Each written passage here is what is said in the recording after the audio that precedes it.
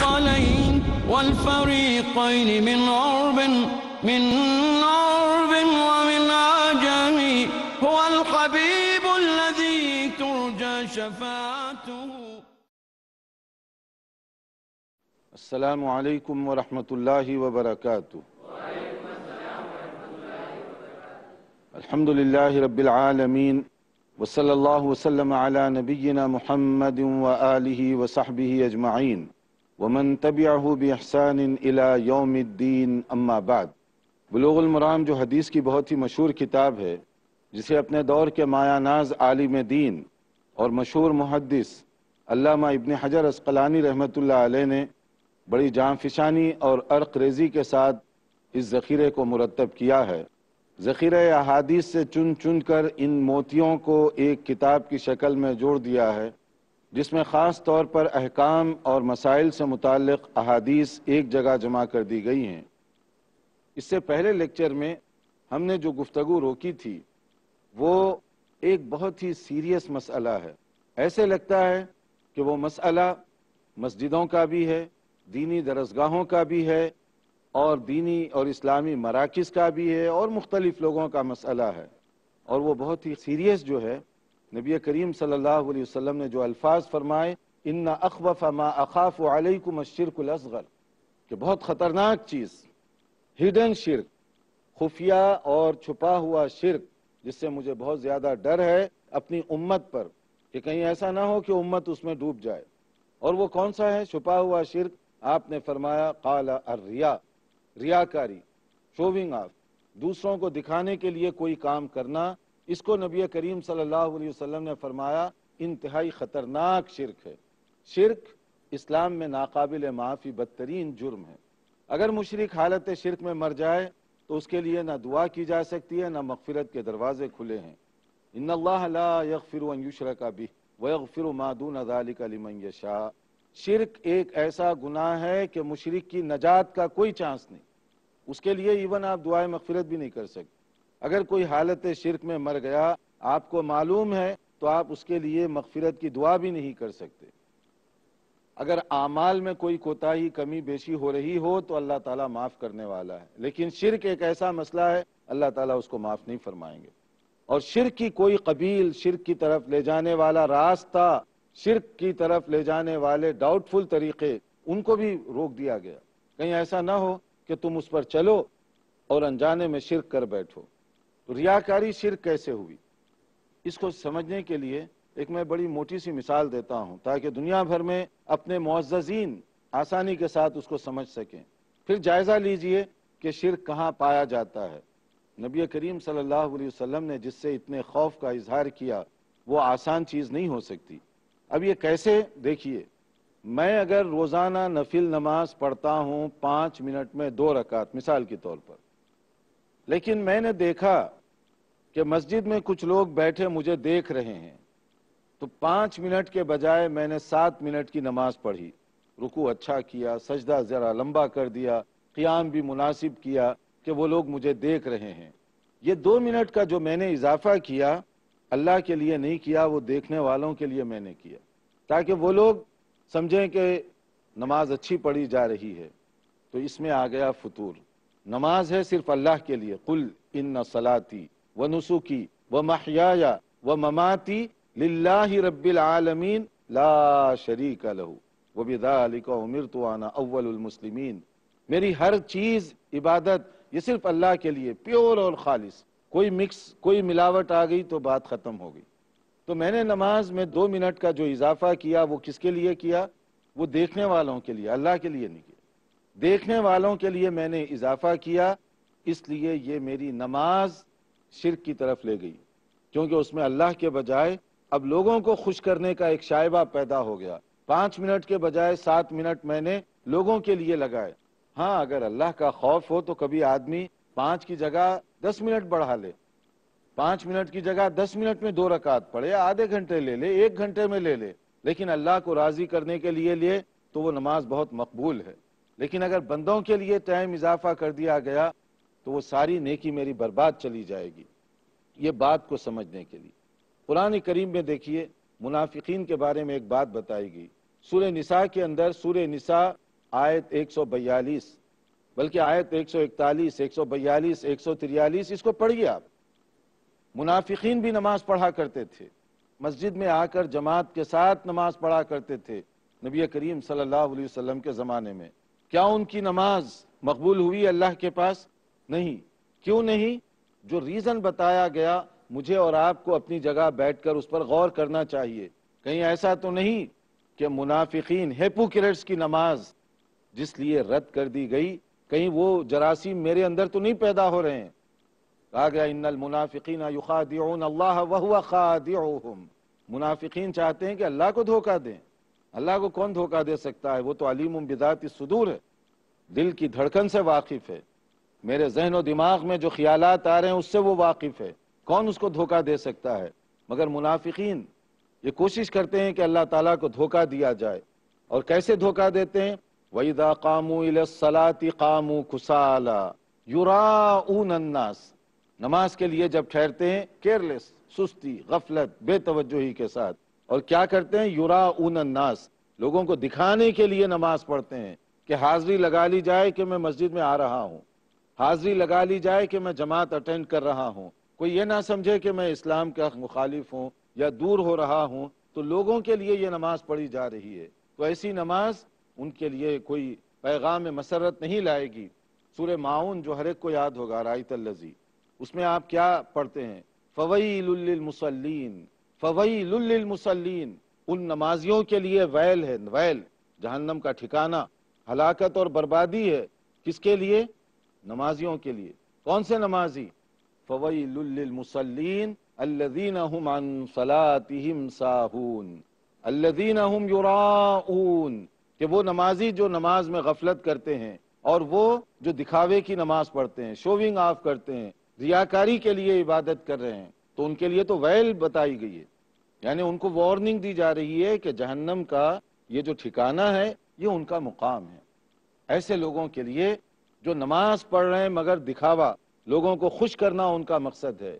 اور اسی طرح سے صدقہ اور خیرات، سورہ بقرہ کی آیت جس میں کہا گیا، یا ایوہ الذین آمنوا لا تبتلوا صدقاتکم بالمن والعذا کالذی ينفق مالہ رعاء الناس۔ تم اپنی دولت کو صدقہ اور خیرات میں دے کر برباد مت کر لو۔ اگر تمہارا مقصد لوگوں کو دکھانا ہے کہ لوگ تعریف کریں گے کہ یہ بڑا خیرات کرنے والا ہے۔ سخی داتا ہے اور میری واہ واہ ہو جائے گی لوگوں میں۔ جب میں چلوں گا تو لوگ میری تعریف کریں گے۔ تو لوگوں کے لیے اگر صدقہ و خیرات کر رہے ہو، ساری کی ساری صدقہ اور خیرات میں دی جانے والی رقم گویا آپ نے برباد کر دی۔ نماز برباد، صدقہ برباد۔ بڑی محنت کے ساتھ حج کرنے کے لیے جا رہے ہیں۔ حج کا جذبہ قابل قدر ہے، لیکن نیت میں فطور آ گیا۔ جانے سے پہلے اخبار میں دیا جا رہا ہے، فلاں پلین سے فلاں وقت میں ہم روانہ ہوں گے۔ قافلہ آ رہا ہے ان کو الوداع کرنے کے لیے پھولوں کے ہار کے ساتھ۔ اور جب وہاں پہنچتے ہیں، وہاں سے فوٹو بھیجی جا رہی ہے کہ عمرہ ادا کر لیا گیا۔ اور اس کے بعد جب آ رہے ہیں، جیسے کامنٹری چل رہی ہے، جب وہ آ رہے ہیں واپس، اسی حساب سے دیکھیے استقبال کیا جا رہا ہے کہ حضرت تشریف لا رہے ہیں حج کرنے کے بعد۔ جیسے ہی پہنچ گئے، اب نام کے ساتھ ایک ٹائٹل کا اضافہ ہوا، الحاد۔ اور اگر کوئی آدمی بائی چانس اتفاق سے اگر اس کے نام کے ساتھ الحاج نہ لکھے تو وہ دعوت نامہ بھی پھاڑ دے گا۔ کہ آپ نے میری توہین کی؟ نام تک نہیں لکھ سکتے آپ میرا صحیح۔ تو گویا الحاج، یہ عبادت نہیں ہوئی ٹائٹل ہو گیا۔ یہ عبادت نہیں ہوئی جیسے ڈگری ہو گئی۔ تو اگر اسی طرح سے کوئی سلاتی زکاتی بھی لکھنا شروع کر دے تو کتنے ٹائٹل بنتے جائیں گے اس کے؟ لیکن الحاج ایک ٹائٹل بن گیا کہ حج کر کے تشریف لائے ہیں۔ کس کے لیے آپ نے حج کیا؟ ٹائٹل کے لیے؟ لوگوں پر روب و دبدبا جبانے کے لیے۔ اگر اس مقصد کے لیے آپ نے کوئی کام کیا تو اللہ تعالیٰ کے پاس یہ نیکی آپ کی اکارت چلی گئی۔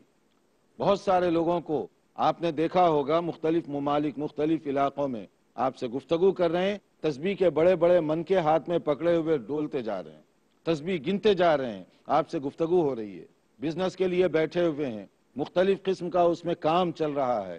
تو یہ تسبیح کس کے لیے پھیری جا رہی ہے؟ اللہ کے لیے ہو رہا ہے یہ کام؟ یا لوگوں پر آپ یہ دکھانا چاہتے ہیں کہ میں تیزی کے ساتھ ذکر میں مصروف ہوں، تو یہ جو چیزیں ہیں، اگر نیت میں فطور آ گیا تو اسی کو ریا کہتے ہیں۔ اور ریاکاری یہ شرک کا دروازہ ہے۔ شرک کی اس کو کھڑکی کہہ لیں تو اس سے نبی کریم صلی اللہ علیہ وسلم نے سختی کے ساتھ منع کیا۔ دیکھتے رہیے پروگرام، ایک مختصر وقفے کے بعد حاضر ہوں گے۔ محمد سید اللہ خود فرما رہے ہیں کہ لقد کانا فی قصصہم عبرت الالباب عبرت کے لیے۔ یقیناً اس طرح کے واقعات سنانے میں ایک عبرت ہے ایک سبق آموزی ہے ان لوگوں کے لیے جو غور و فکر کرنے والے ہیں۔ ہدایت کے لیے۔ ہم نے تمہاری طرف وہ کتاب نازل کی ہے جس میں تمہارا ذکر بھی ہے۔ نوید احمد۔ مراد یہ ہے کہ تم اپنا کردار اپنی تصویر قرآن مجید میں دیکھ سکتے ہو احساس کی بیداری کے لیے آخرت کی تیاری کے لیے۔ ہماری پوری زندگی میں تقوی ہونا چاہیے۔ اللہ تبارک و تعالیٰ کے سامنے جواب دہی کا احساس کہ میں نے سر چکا دیا اس ہستی کے احکامات کے سامنے جو تمام جہانوں کے مالک و پروردگار ہے سمجھیے پرانی آیات میں بیاں ہوئے واقعات تاکہ مضبوط ہو ایمان قصص القرآن۔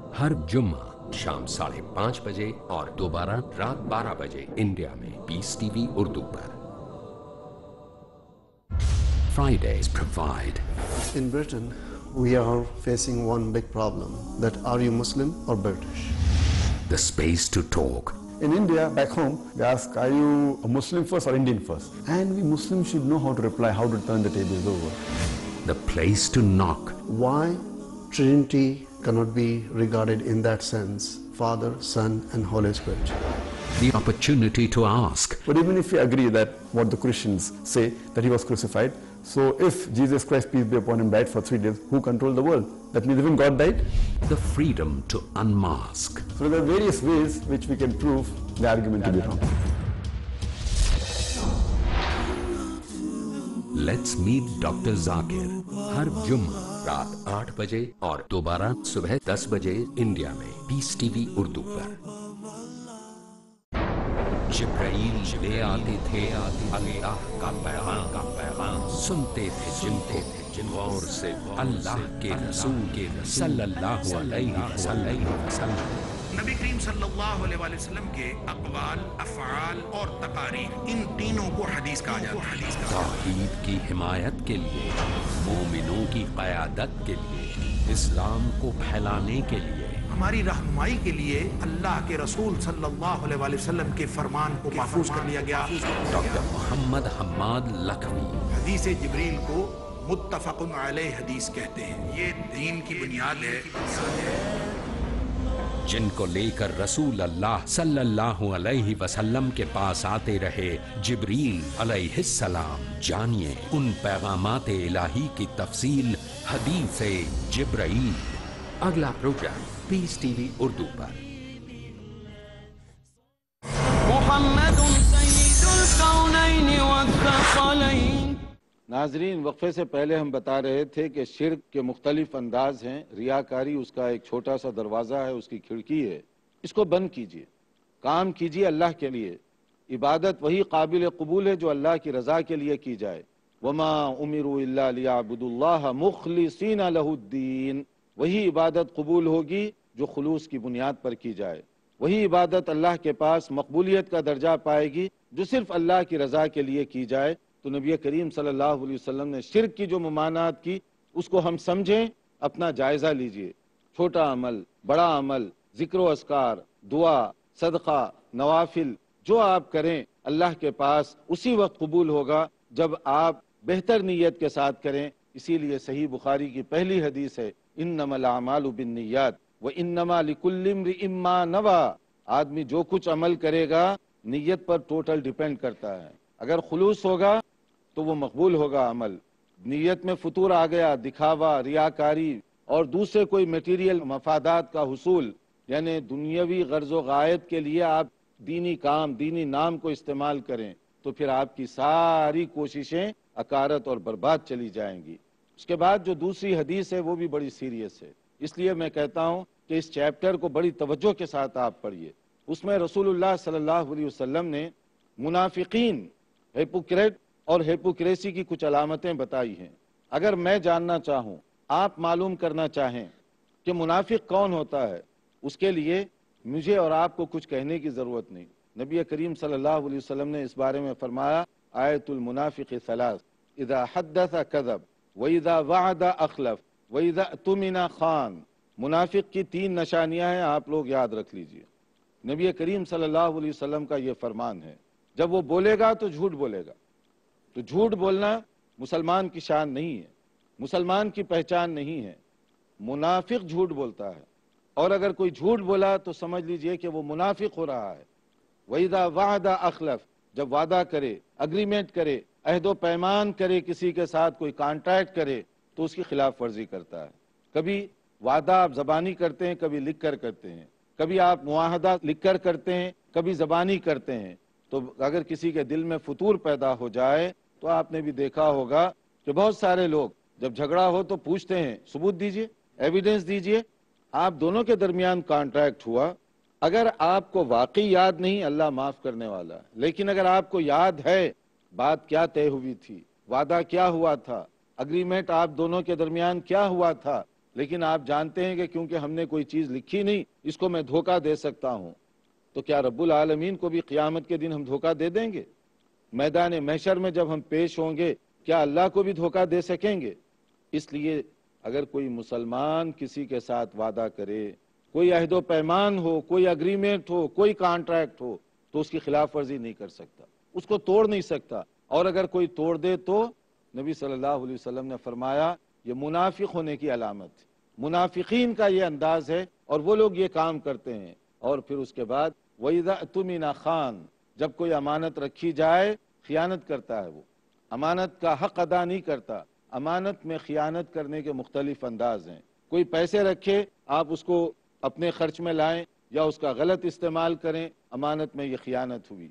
کوئی عہدہ دے اور آپ پوزیشن کا غلط استعمال کریں، تو یہ امانت میں خیانت ہوگی۔ اور اگر کوئی آپ کا اثر و رسوخ ہے اور اس کو آپ مس یوز کر رہے ہیں، یہ بھی امانت میں خیانت ہے۔ تو اب سوچئے ذرا، اللہ تعالیٰ نے ہمارے لیے کتنی امانتیں دی ہیں۔ ہماری آنکھ ہماری امانت ہے، ہماری زبان امانت ہے، کان امانت ہیں۔ ہم کیسے اس کا استعمال کر رہے ہیں؟ صحیح کر رہے ہیں، الحمدللہ۔ اور اگر کہیں کوئی کوتاہی ہو رہی ہے، تو اس کا معنی یہ ہوا کہ امانت جس نے دی ہے، نعمت جس نے دی ہے، ہم اس کی گویا کے خلاف ورزی کر رہے ہیں۔ ناشکری کر رہے ہیں، جو کہ ایک بدترین قسم کا جرم ہے اور اللہ تعالیٰ کو یہ طریقہ آدمی کا پسند نہیں ہے۔ ایک اور حدیث میں منافقین کی نشانیوں میں سے ایک اور نشانی بتائی گئی، وَإِذَا خَاسَمَ فَجَر، جب آپس میں کوئی اختلاف ہو آرگیومنٹ ہو، کبھی کسی مسئلے میں تکرار ہو جاتی ہے، ہٹ پڑتا ہے آؤٹ آف کنٹرول ہو جاتا ہے۔ اب اسے معلوم نہیں ہوتا کہ میں اپنی زبان سے کیا کہہ رہا ہوں، کیا مجھے کہنا چاہیے، غصے میں اپنے قابو سے باہر ہو جاتا ہے۔ تو اس کا معنی کیا ہوا؟ اس کے اندر منافقت پیدا ہوگی۔ اگر کسی میں یہ سب نشانیاں پیدا ہو گئیں، منافق پکا ہو گیا۔ اور اگر کسی میں اس میں سے ایک مثلا جھوٹ بولنے کی عادت ہے، منافق کا ایک پارٹ آ گیا اس کے اندر، کسی کے اندر دوسری آ گئی، تو گویا کہ وہ دوسرے انداز کا منافق بنتا جا رہا ہے۔ تو اس کا بھی جائزہ لینا چاہیے کہ گھر میں آپ بیٹھے ہوئے ہیں، بچوں کو سکھا رہے ہیں کہ جھوٹ بولو۔ ٹیلی فون اٹھایا ہوا ہے، بچے کو بتا رہے ہیں کہ جھوٹ بولو۔ گھر میں بیٹھے ہوئے ہیں، بچے سے کہہ رہے ہیں گاڑی چلا رہے ہیں۔ اب بچہ بھی اس کو سن رہا ہے اور بچہ بھی اس کو سمجھ رہا ہے، کیونکہ آپ جو آدمی بات کر رہا ہے، اس سے بات کرنا نہیں چاہتے، مثال کے طور پہ۔ گھر میں بیٹھے ہوئے ہیں، بچے سے کہہ دیں، جاؤ بولو کہ بابا گھر میں نہیں ہے تو آپ بچے کو کون سی تربیت دے رہے ہیں؟ کون سی ذہن سازی کر رہے ہیں؟ اور اسی طرح سے نہ جانے کون کون سی باتوں میں ہم اس طرح کی غلط حرکتیں کرتے ہیں۔ اگر یہ باتیں پیدا ہوں تو گویا کہ ہم نفاق کے مرض کی طرف جا رہے ہیں۔ نفاق کی بیماری اتنی سیریس بیماری ہے کہ ہمارے ایمان اور ہمارے تقوی یہ سب چیزوں کو ڈیمیج کر کے رکھ دے گی۔ نبی کریم صلی اللہ علیہ وسلم نے جن چیزوں سے منع فرمایا، اس میں سے ایک خاص، ایک اور بات جو صحیح بخاری اور مسلم کی ہے، سباب المسلمی فسوقن وقتالہ کفر۔ مسلمان گالی نہیں بکتا۔ گالی دینا مسلمان کی شان نہیں ہے۔ یہ فاسقوں کی علامت ہے۔ جو فاسق ہیں، جو دینی اعتبار سے گئے، گزرے گناہ میں آلودہ لوگ ہیں یہ ان کی پہچان ہے کہ وہ گالی گلوچ سے کام لیتے ہیں۔ اب ہماری اگر مساجد میں گالی گلوچ ہو، مساجد میں جھوٹ بولنے لگ جائیں لوگ، مساجد کے اندر لڑائی جھگڑا ہو، جہاں کہ نور و برکت کی فضا ہونی چاہیے، اگر وہاں یہ بات ہو تو اس کا معنی کیا ہوا؟ ہم نے دین کو صرف سرکاری حیثیت دے رکھی ہے، اپنی زندگیوں میں دین کو نافذ کرنے کے لیے ہم تیار نہیں۔ تھوڑی سی بات ہو جائے، آپ کی زبان سے گالیاں نکل رہی ہیں۔ تو یہ کیا مسلمان کی زبان ہے جو اس طرح سے گالیاں بکے؟ نبی صلی اللہ علیہ وسلم نے فرمایا، یہ گالی دینا فاسقوں کی علامت ہے، مگر اس سے بھی ایک اور افسوسناک بات ہے کہ میاں بیوی گھر میں کوئی بات ہو گئی تو شوہر اس طرح سے گالی گلوچ کرتا ہے کہ وہ کسی جانور کے لیے بھی دینا پسند نہیں کرتے جو اپنی بیوی کو آپ اس طرح کی زبان استعمال کر رہے ہیں۔ بچے بھی سن رہے ہیں۔ تو کیا آپ کی بیوی کی اتنی ہی قدر ہے، اتنی ہی قیمت ہے کہ اس طرح سے آپ اس کے ساتھ ایسی زبان استعمال کرو۔ کیا یہ مسلمان کی شان ہے کہ اس طرح کی زبان استعمال کریں؟ رسول اللہ صلی اللہ علیہ وسلم نے کبھی امہات المومنین کو اس طرح کے الفاظ استعمال نہیں کیا یعنی گالی گلوچ نہیں دی۔ اور نبی کی سنت گھر کے لیے بھی ہے، صرف مسجد میں سنت کی بات نہیں، بطور شوہر کے بھی سنت پر عمل کرنے کی ضرورت ہے۔ کہ رسول اللہ صلی اللہ علیہ وسلم نے کیسا نمونہ قائم کیا اپنے گھر والوں کے ساتھ، اپنے بچوں کے ساتھ اور اس کے بعد ایک اور بیماری جو ہمارے ہاں بہت تیزی کے ساتھ سرایت کر رہی ہے، اس کے بارے میں بتایا گیا کہ ایاکم والظن، فإن الظن اکذب الحدیث۔ بدگمانی سے بچو، اس لیے کہ بدگمانی جھوٹ ہے، فراڈ ہے، بدگمانی کرنا اور نقصان دہ ہے۔ آپ کو معلوم نہیں بدگمانی میں مبتلا ہو گئے، مثلا دو آدمی بیٹھ کر بات کر رہے ہیں۔ آپ سمجھ لیے کہ میرے خلاف پلاننگ کر رہے ہیں یہ۔ حالانکہ وہ آپ کی بات نہیں کر رہے ہیں۔ اپنے کوئی مسئلے میں بات کر رہے ہیں، مگر آپ کے ذہن میں برا خیال ہے، آپ نے سمجھ لیا کہ وہ میرے خلاف بدگمانی کر رہے ہیں۔ یہ بدگمانی کا نقصان ہے، اور یہ بدگمانی سے کبھی کبھی ہنستے، کھیلتے، گھرانے اجڑ جاتے ہیں، برباد ہو جاتے ہیں، حتیٰ کہ طلاق کی نوبت آ جاتی ہے۔ شوہر صاحب باہر سے تشریف لائے، دیکھا کہ بیوی ابھی برقع اتار رہی ہے۔ اب آپ نے معلوم نہیں کیا کیا مسئلہ ہے۔ اب آپ کے ذہن میں آ گیا اچھا تم میری غیر موجودگی میں کسی سے ملنے کے لیے گئی تھی۔ اب یہ دیکھیے، بدگمانی۔ اب آپ نے اپنی جو کچھ ریئیکشن تھا، اس کا اظہار کر دیا۔ بعد میں پتا چلا، بچے کی طبیعت خراب ہوئی تھی اور وہ بیچاری مارے مارے دوا کے لیے پھر رہی تھی۔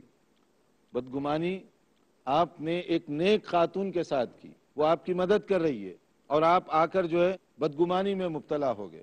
یا اسی طرح سے کبھی کوئی فون پر بات وہ کر رہی ہے؟ آپ نے فوری سمجھ لیا اچھا میرے خلاف پلاننگ کر رہے تھے تم۔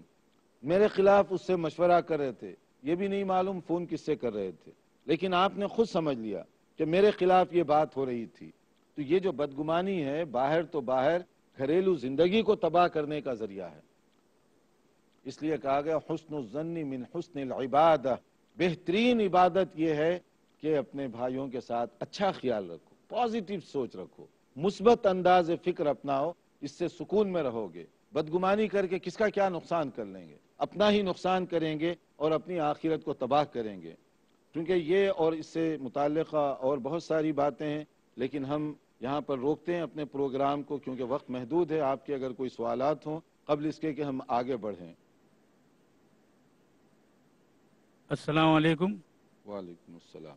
بہت سے لوگ جب حج کو جاتے ہیں تو اس سے پہلے لوگوں سے ملنے جاتے اور لوگوں سے جا جا کے کہتے ہیں کہ ہم حج پڑھنے جا رہے ہیں۔ پھر ایک دن ایسا مقرر کیا جاتا ہے کہ ہم سے آ کے ملو لوگ آ کے ملتے ہیں ان کو تحفے طوائف دیے جاتے تو کیا یہ ریاکاری میں شمار ہوگا؟ بہت سارے لوگ حج کرنے سے پہلے اپنے رشتہ دار دوست احباب سے ملتے ہیں پھر ایک دن مقرر کر کے تحفے وصول کرتے ہیں۔ دیکھیے اگر ملتے اس لیے ہیں کہ اگر کبھی زندگی میں اونچ نیچ کسی کے ساتھ ہو گئی تو اپنے دلوں کو صاف کرنے کے لیے جا رہے ہیں، ملاقات، اس لیے تو یہ اچھی بات ہے۔ دعا کرنا، دعا لینا، یہ دونوں بہت اچھی چیز ہے۔ حضرت عمر رضی اللہ عنہ جب عمرے کے لیے جا رہے تھے تو نبی صلی اللہ علیہ وسلم سے آپ نے اجازت لی۔ تو نبی صلی اللہ علیہ وسلم نے ان سے یہی کہا تھا، لا تنسانا فی دعائی کا یا عقی کہ آپ جا رہے ہو، اپنی دعاؤں میں ہمیں نہ بھولنا۔ تو یہ نبی صلی اللہ علیہ وسلم کی اس طرح کی سنت ہوئی اور صحابہ کا انداز۔ باقی رہا کہ لوگ اب ان کی نیتوں کے اوپر ہے کہ کیوں یہ کرتے ہیں کیوں تحفے وصول کرتے ہیں اور کیا تحفے لینے ہی کے لیے یہ دن مقرر کیا جاتا ہے؟ اگر دیکھیے نیکی اور برائی ریاکاری میں تھوڑا سا فرق ہے۔ اگر وہ باریک فرق کو سامنے نہ رکھا جائے تو ایک اچھا کام ریاکاری میں بدل جائے گا اور وہ جائز نہیں ہوگا۔ السلام علیکم شیخ۔ وعلیکم السلام۔ شرک خفی سے توبہ کیے بغیر مر گیا تو کیا اس کی معافی ہو سکتی ہے یا وہ شرک جلی کی طرح شرک خفی سے توبہ کیے بغیر اگر کوئی مر جائے تو اس کی معافی ہے یا نہیں؟ اصل میں جو شرک ہے وہ تو شرک جلی ہے، جس کی معافی نہیں ہو سکتی۔ باقی رہا شرک خفی، اس کی نیکی برباد ہو جائے گی۔ اگر اس کی نیکیاں نہ ہوں گی تو وہاں پر اس کے لیے سزا اور نقصان کی بات ہوگی۔ لیکن اگر اس کی کچھ نیکیاں ایسی بھی ہیں جو اللہ تعالیٰ کے پاس قبول کر لی گئی ہیں، تو اس کو عام مشرقین سے الگ شمار کیا جائے گا، دونوں میں تفریق کی جائے گی۔ لیکن جو شرک خفی میں بھی مبتلا ہیں، ہم ان سے بھی یہی کہیں گے کہ اپنی نیتوں کو صاف کریں۔ لوگ آپ کو ثواب نہیں دے سکتے۔ لوگ آپ کو کوئی اچھا بدلہ نہیں دے سکتے۔ بدلہ صرف اللہ سے لینے کی امید رکھیں۔ اس لیے اپنی نیتوں کو خالص کر کے کوئی بھی عبادت کریں تاکہ پچھتاوا اور ندامت نہ ہو۔ ہمارے کچھ اور سوال ہیں، لیکن ٹائم ہمارے پاس بہت لمیٹڈ ہے۔ تو یہیں پر اپنے پروگرام کو روکنا پڑ رہا ہے۔ انتظار کیجیے ہمارے آئندہ لیکچر کا۔ حاضر ہوں گے انشاءاللہ تعالی کچھ مزید معلومات کے ساتھ۔ والسلام علیکم ورحمۃ اللہ وبرکاتہ مولاي صل وسلم دائما ابدا على حبيبك خير الخلق كلهم. محمد محمد سيد الكونين والثقلين والفريقين من عرب من